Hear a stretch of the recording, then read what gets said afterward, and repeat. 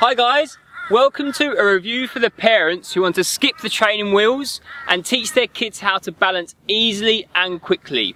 Today I'll be comparing four different balance bikes. The Kazam, the Strider, the Eurotrike and the JD Bug.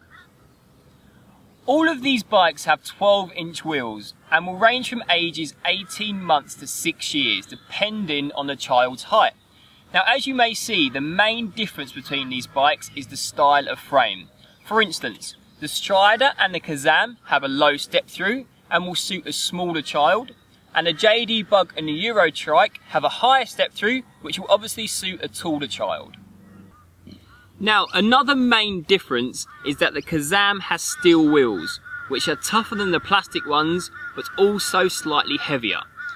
Another factor to consider is the tyres. Now the JD Bug and the Kazam both have pneumatic tyres, which could potentially puncture, whereas the Eurotrike and the Strider both have hard foam, which will completely eliminate punches.